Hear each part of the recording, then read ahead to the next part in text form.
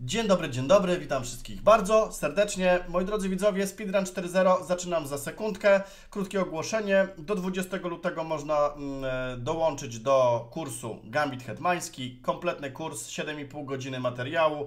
E, Szczegóły znajdziecie na stronie, podepnę to w opisie e, i w komentarzu. E, Zapraszam, e, strona szachuś.pl. E, I druga rzecz, wczoraj grałem speedruna.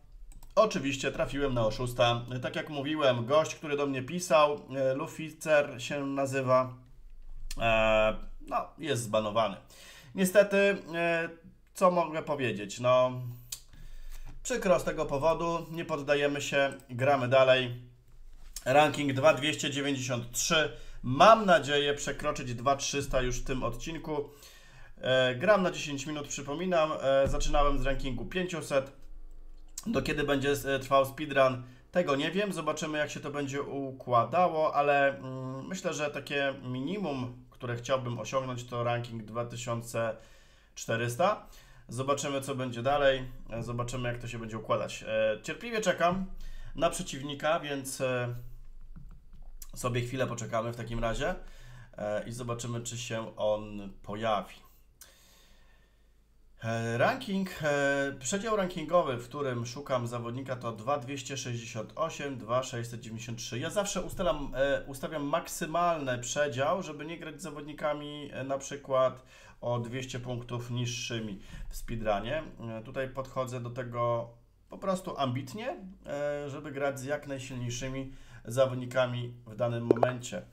Jest gość 2300, proszę bardzo, e, skoczek F3. Od razu wykonam pierwsze posunięcie, żeby mi już nie uciekł, bo po pierwszym ruchu mm, zer- zerknę tylko ilość partii, którą zagrał. Super, 38 tysięcy partii, zawodowy zawodnik, e, zawodowy szachista można powiedzieć. I C4.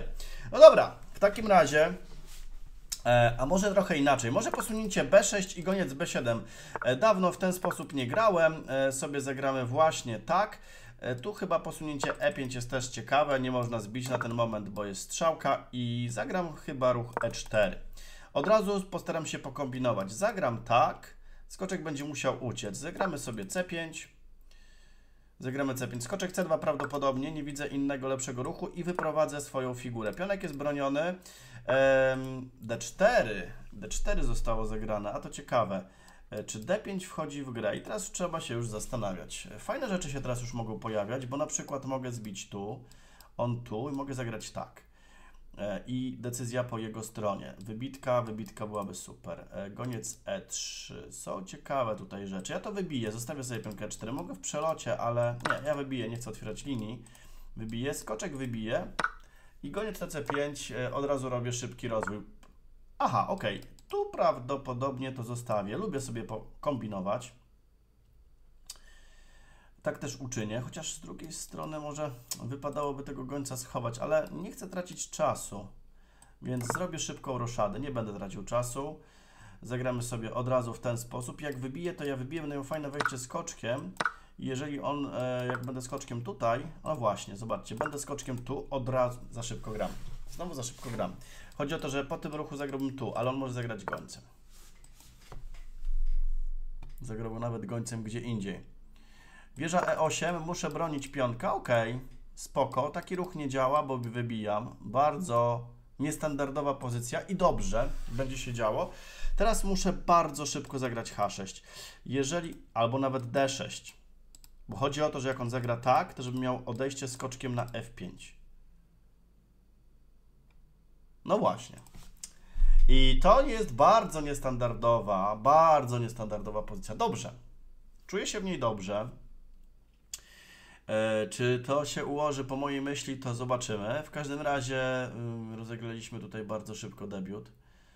Mega szybko. Można by na pewno pokminić, czy czegoś nie można fajnego zagrać. Dobra, gość się decyduje na skoczek D5. Ja muszę zbić tego skoczka, potem pomyślę, bo tutaj to związanie było zbyt silne. I teraz tak, jak zagram tu, on mi zagra tu, ja zagram tu, to mi weźmie pionka, więc chyba D6 muszę zagrać. D6. Wtedy on tak. Ok, to D6 scali mi pionka. Ok. Jak tutaj, to tutaj, po prostu. Ten pionek y, zawsze mogę teraz wybić nawet pionkiem po wybiciu gońcem. No właśnie, zobaczcie, teraz na skoczkiem, skoczki na gońce, skoczek F5 muszę zagrać, nie mam wyjścia. I on prawdopodobnie hetman C2, e, wtedy zagram tu z obroną, a jednak nie. A no to super, to wtedy e, w takim razie gram H6, on jest zmuszony do wybicia i wszyscy są zadowoleni. Nie, no to słuchajcie, e, ta, w, uważam, że ta pozycja jest dla mnie rewelacyjna. I teraz mam chyba prosty plan. Wieża E5, żeby podważać tego pionka, druga wieża wejdzie, żeby bronić pionka, potem H5, H5, H4, G5. Nie widzę nic prostszego. Uważam, że mam lepszą pozycję. Pionek y, na D5 jest do wzięcia. No właśnie, wieża C4, więc y, idę tą wieżą i bronię mocno. Zawsze mogę hetmanem też obronić tego pionka na maksa, jakby była taka potrzeba. Mm, H5 nie mogę, y, sorry, bo tutaj hetman broni, ale mogę próbować spokojnie. G6, już mogę H5. Hetman D2. Hetman będzie przemierzał tędy, ja tutaj mam zawsze obronę. Yy, Da szacha, ok, ja pójdę tutaj. Dobra, idziemy H5. Idziemy H5, H4, mm, żeby go trochę podgryźć. Zawsze po gońcu H3. O, zobaczcie, H4 według mnie nie jest najlepsze, tak na pierwszy rzut oka, bo tak, G5 już mi się narzuca. Strzałka tutaj się narzuca, bicie, tylko że to może być bardzo ryzykowne. Tam jeszcze jakieś F3 będzie bronić, chyba G5. Ja, jak to y, zwykle w mojej naturze agresywnej bywa, em, lubię grać, słuchajcie, agresywnie. Kiedyś byłem bardziej pozycyjnym graczem, ale i to, i to, ale mm, agresja na szachownicy jak najbardziej wskazana. Bicie, bicie. Y, trzeba wywierać presję na przeciwniku. Ok, Hetman E2, co on wnosi? Wnosi to, że ja biję w przelocie, gram tutaj, gram tutaj prosty atak. Bicie proste tutaj, to on już jest w ogóle chyba na przegranej pozycji. No G4 może zagrać, ok, no to wtedy zagram tak. Ale to u mnie się bardzo dobrze kalkuluje, bo jak on otworzy przez F3, F4, to ja zbijam te wieże, moje, moje wieże będą tutaj fantastyczne. G4, no tak przypuszczałem. Jeszcze zastanawiam się nad tym ruchem. Nie, no to fanaberia. Skoczek H6, on gońcem, ja F5 i zbieram pionka. Królem mogę zejść i też y, wieżą wspomóc w razie co. W ogóle po tym ruchu bicie, bicie hetmanem. Popatrzcie, tu bicie hetmanem, bicie, bicie i wieża tu. Aha, jest F3, nie mogę w przylocie, bo tu będzie, mm, będzie bronił. Dobra, zagram F5, on zagra tu, albo tu, wybije. Tu i tam leci, tu się wszystko na F5 broni, tu będzie, będzie moja wygrana. F5, on przejdzie królem, ja zbiję tu i on zagra wieżą. Tak to będzie wyglądało, będzie groziło bicie. Mm, mogę wziąć tutaj pionka, słuchajcie. Na czysto. Właśnie. Dlaczego nie wziąć pionka? Po prostu go wezmę. Tu się jeszcze przyczaję, bo on odejdzie królem, niech nie będę otwierał. No właśnie. E, dokładnie tak się też dzieje. Mm, ja tutaj chyba też zagram królem, żeby już zejść sobie z tej diagonali. H8 albo H7. H8 to nie chciałem szacha dostać, chociaż tam jakieś F6. A będę F5 chciał też pewnie grać. Dobra, pionek więcej. F3, czyli on otwiera pozycję. Ok, bije. Nawet się nie zastanawiam i naciskam na gościa. Tu jest pilnowany punkt. Mogę zawsze teraz zagrać królem na G7 i trzymać to jeszcze mocniej. Tu jest opcja wybicia. No to czasami też wystarczy, jak widać na załączonym obrazku, trochę przytrzymać pozycję. No to król G7. Tutaj bronię mocniej.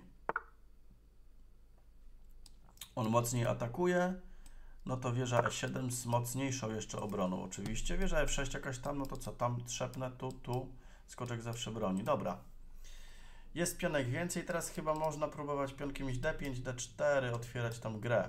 No właśnie, to jest prosty plan. Prosty plan. Te partie, słuchajcie, już na tym poziomie się robią naprawdę bardzo ciekawe. Mm, I D5. Bez większego zastanowienia się. Od razu D4 i tam już nawet wieża E2 grozi. Tutaj, tutaj, e, zobaczcie, no w miejscu stoi tak, on będzie miał opcję taką. To trzeba policzyć. E, może jeszcze tak podciągnąć pionka. Zastanawiam się teraz, gdzie tu zrobić progres. A może tutaj i... A może zagram pionkiem, bo liczę na król H2. Ciekawe, dostrzega to, że jak zagram tu, nie może zbić, bo wieża E2 od razu. Więc zagram A5 wyczekujący ruch. Niech on coś udowodni w tej pozycji. Ja nie muszę. A5 tak po prostu wyczekująco. Dwie lekkie na bandzie. Ciekawy widok. Dobra. Zagrał tu, czyli teraz tak. Tutaj, tutaj. Szach, on tu. I w zasadzie nic więcej nie widać. A, dobra. Aha, bo chcesz mi pionka tutaj skubnąć. Ale chwila, ja mam chyba bicie tutaj. Tu i tu. On nie może, bo tam, ale może dać szacha.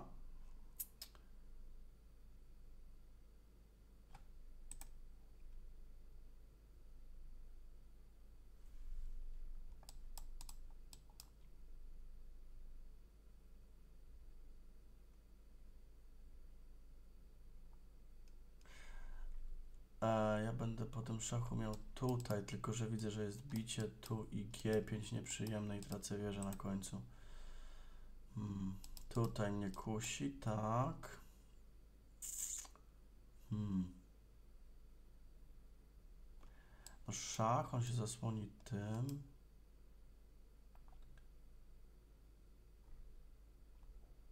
Wieża wejdzie druga. Tak, tak, tak nawet. Może. Hmm to już jakieś konkrety właśnie trzeba sobie poustalać, których ja na razie jeszcze nie widzę. No dobrze. Hmm. Myślę, a może przerzucić skoczka? Mam na to czas? Myślę, że tak, bo jest obrona. Ten pionek mnie nie interesuje. Możesz sobie go brać. Jak ja przerzucę skoczka... Aha, ja nie mogę zagrać skoczkiem na F6.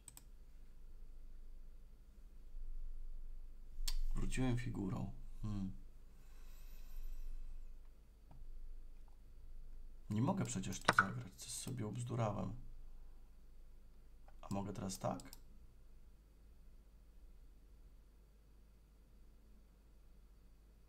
Mogę chyba. Więc skorzystam z tej okazji i wybiję teraz tu pionka. Może chyba tu nawet pacnąć, tak? Tak, ale to moje figury wchodzą. Nie.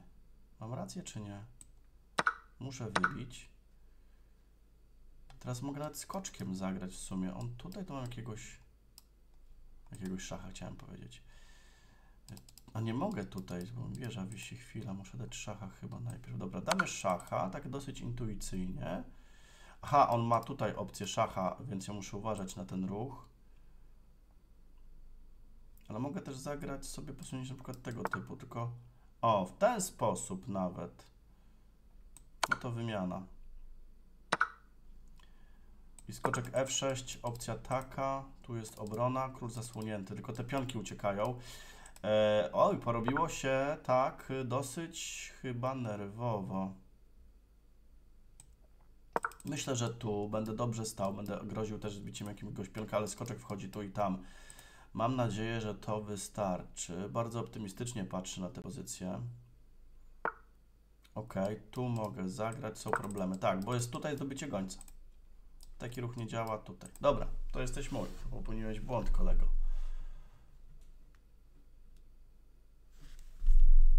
Skoczki są niebezpieczne, co?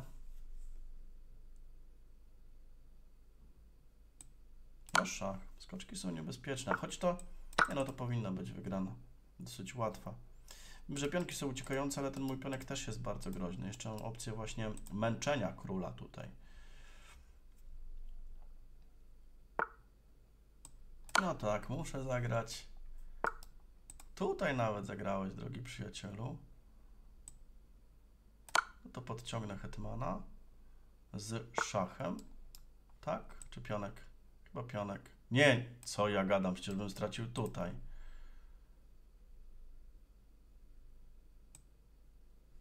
No szacha damy w takim razie. Tutaj nigdzie nie możesz. Bo mogę tak sprytnie jeszcze dać szacha tu. Chwila. A to ja cię nie mam teraz? Takim ruchem? Tu. Robi się ciasno przeciwnikowi. Wracam. Tu.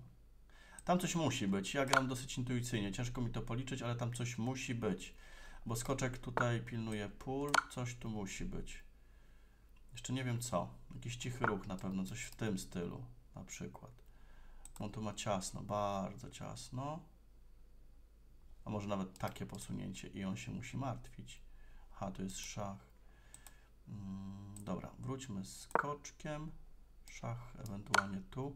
A to ja króla podciągam i mu mat grozi. Aha, nie do końca. Muszę tak. Muszę tak, dobra. Tu grozi mat. Król nie ucieka. Ok, to działa. Zadziałało. Skoczek z hetmanem. Potężna broń.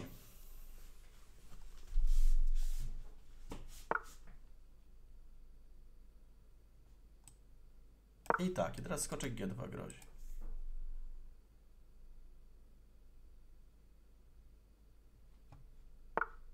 Miał szacha, nie widział. Odszedł też tu, też by działało. Ok, skoczek G2 wystarczy.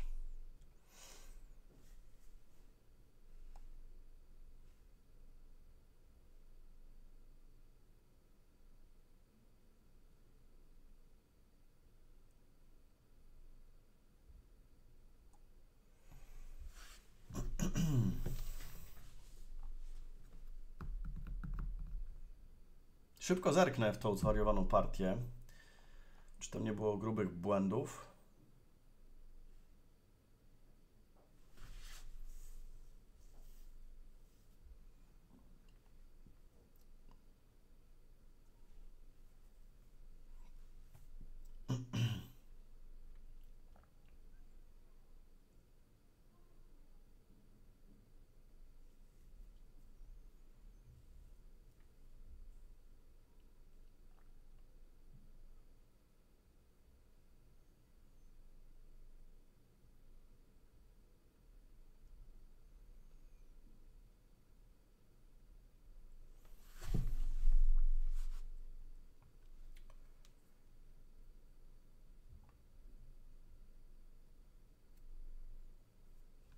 Ogóle taka, tak z ciekawości, zbije, zbije, grozi mat w jednym, tak, tak, potem będzie mat na H2.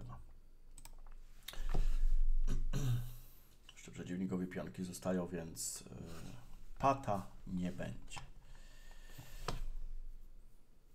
Dlaczego on tak długo myśli w sumie? Ja ostatnio też grałem i myślałem już przy granej pozycji troszeczkę, ale bardziej e, dla potrzeb filmu, bo tak normalnie to bym się poddał od razu. Inaczej w ogóle gra wygląda, słuchajcie, jak się nagrywa coś, tak z ciekawości mówiąc, a inaczej jak się gra bez kamery, to jest zupełnie, i, zupełnie inaczej, słuchajcie, to wygląda. Tam poddanie się czy coś to jest y, dwie sekundy, więc y, no, to tak tylko tyle. Ale co, no, będzie myślał do końca? Trochę tak bez sensu chyba, no. Hmm. Szkoda. Zerknę tylko, jaki on ma ranking e, w szachach błyskawicznych. W Blitzu 2400 prawie. No dobra, jest zwycięstwo. E, zobaczmy sobie analizę. Przegląd niech poleci. A, wy przeglądu nie widzicie, przepraszam najmocniej za tą scenę. E, od razu Wam mówię, on miał dokładności 76,2, a ja 85,9. Jeden poważny błąd nastąpił, zaraz sobie zobaczymy gdzie. Tutaj jest OK. E5 to błąd? Może i tak, ale to E4 to błąd, proszę bardzo. Skoczek H4. A trzeba znać teorię debiutów. Jak ja lubię sobie zamieszać, jak widać. Skoczek D4, C5. Skoczek C6 trzeba grać. Ok. To, że trzeba, to nie znaczy, że to nie znaczy, że trzeba. Skoczek C, skoczek C6, ok, D5, bicie. Też on zagrał tak widać nie teoretycznie, tylko próbuje kombinować. No to, że tu znak zapytania to nieistotne, słuchajcie. To, to jest no, fajna, skomplikowana gra. Um, przewaga białych 0,40, więc tutaj zresztą sami widzicie też na pasku. Jest roszada, skoczek wziął, wziął, tutaj wyszedł skoczek, skoczek D4 może za szybko, ale to jest też kwestia takiej dynamiki troszeczkę. Goniec tutaj, wieża E8 trzeba, skoczek wleciał. No właśnie, skoczek na D5 błąd. A co należało grać? Na przykład gońcem tu. No właśnie. Musiałbym co jakieś D5 uderzyć, ojejku. Po tym ruchu ja bym zagrał raczej tak. Też do, też do przełknięcia, ok. No taka dziwna oczywiście. No, Czarne są, znaczy białe są pewnie bardziej tak e, stabilnie, stabilnie ustawione. E, Skoczek wleciał, no tutaj strzałka, strzałka, D6, błąd, a co jest lepszego? Wieża E5. Takie wymuszenie, żeby tutaj dziabnąć. O proszę bardzo. Człowiek się uczy całe życie tych szachów. Jest E3, tak. No tak, on tutaj powinien zagrać według mnie. Hetman C2, wieża C1 pokazuje mimo wszystko też. Spoko. Zobaczcie, silnik wskazuje wieża C1, a y, oznacza to jako znak zapytania wykrzyknik, więc tutaj na silnik na, mocno nie patrzymy. H6, bicie, bicie. Ale co, goniec C6 to wspaniały ruch? No ruch jak ruch. Jedyny. B3. Wieża E5. Dlaczego to jest słabe posunięcie? Wydawało mi się, że jest dobre. A, bo tutaj jest opcja gry na tym skrzydle po prostu. Hetman D2, H5. Tu się zgadza. H4 słabe. Tak jak mówi, tak jak przypuszczałem, on powinien z tej strony próbować kontratakować. Ale nie widać gołym okiem tego kontrataku, przynajmniej ja go nie widzę. G5, tutaj bicie, bicie oczywiście. I tu już jest co? Przewaga. Przewaga czarnych się robi. Hetman E2, H4 od razu, dobrze. Jest ruch G4. Aj! H3. Tak, tak i tak. Rozumiem. Skoczek na F3 ma fajną placówkę. No to wymaga trochę większego nakładu wysiłku myślowego, że tak się wyrażę.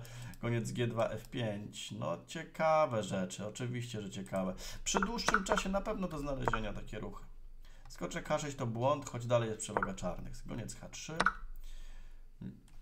Wziąłem pionkę. Dlaczego oznaczasz to jako złe? F3 złe. Bicie, bicie.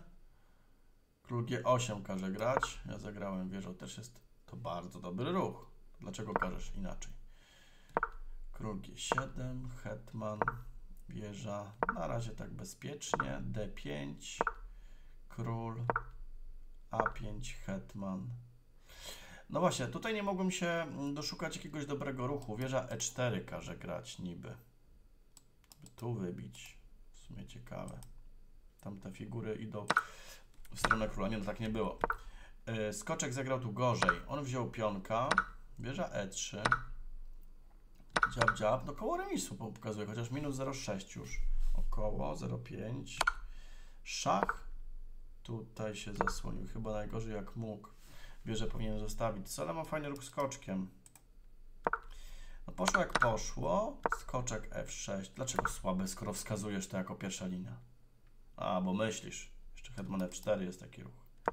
To już precyzja, ale no to jest ludzkie zagranie skoczkiem, tak? Goniec E2 błąd. Ja zagrałem tu. E, też dobrze, ale skoczek tutaj wchodzi, co? Że od razu tam.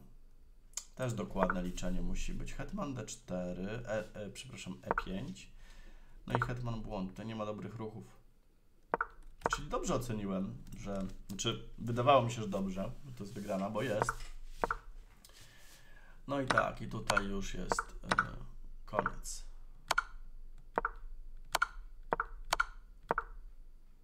I szach, tutaj król poszedł sobie. Mat w 16 posunięciach, spoko. Skoczek F4 to jest ruch, który daje możliwość tego mata. Szach, F6. Hetman wrócił. I król. Aha, zagrałem tu, bo y, on nie dostrzegł szacha. A jak inaczej? Tutaj dać mata? A, iść pionkiem D4. Też wygrywa, no wiadomo. Tak, tak. A tu już jest tak, mat w trzech ruchach.